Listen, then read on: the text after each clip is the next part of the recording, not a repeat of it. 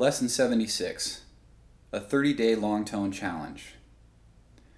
You can visit mattotto.org for a detailed description for this exercise.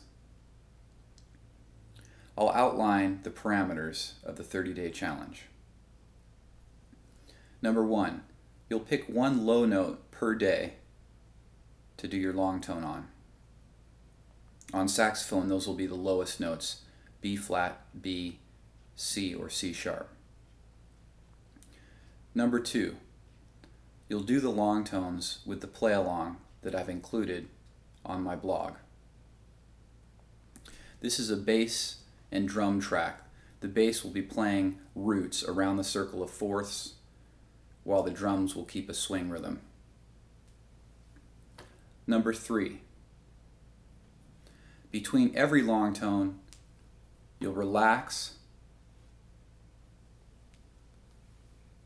correct any postural issues you might be having, and then sing the note that you're playing. Number four, you'll repeat this exercise 100 times. Number five, you'll keep a tuner handy for reference during the entire exercise.